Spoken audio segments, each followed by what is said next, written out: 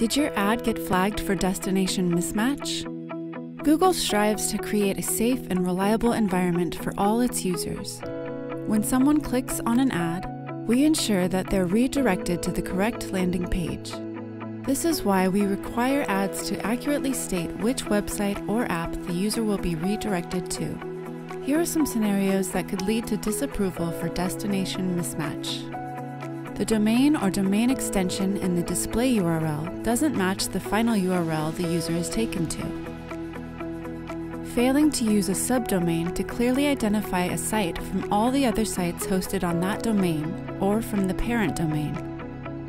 Redirects from the final URL that take the user to a different domain.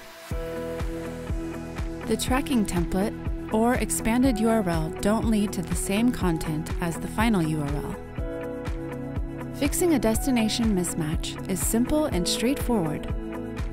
There are several ways to check the domain your ad pointed to at the time of review.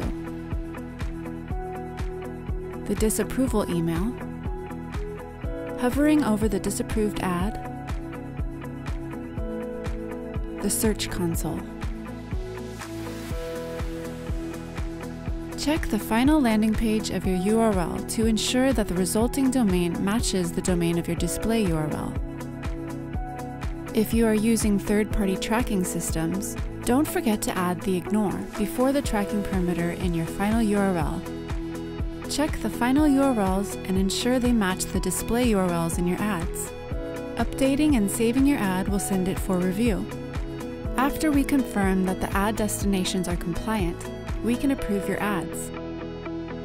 For more information about destination requirements and other advertising policies, visit the Google Ads Help Center.